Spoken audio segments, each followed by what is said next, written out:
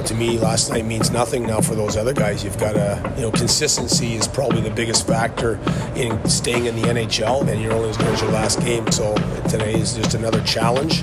Um, I'm really anxious to see how our guys uh, react to that here in the first period today.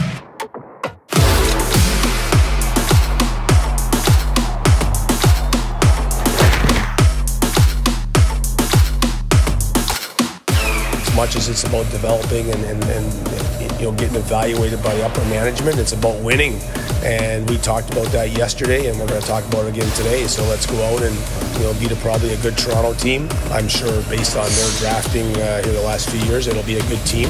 Uh, if we win the game, then we win the tournament, and we'll go home in Ottawa, and they can play their game two and three tomorrow and Monday, and we don't have to worry about it.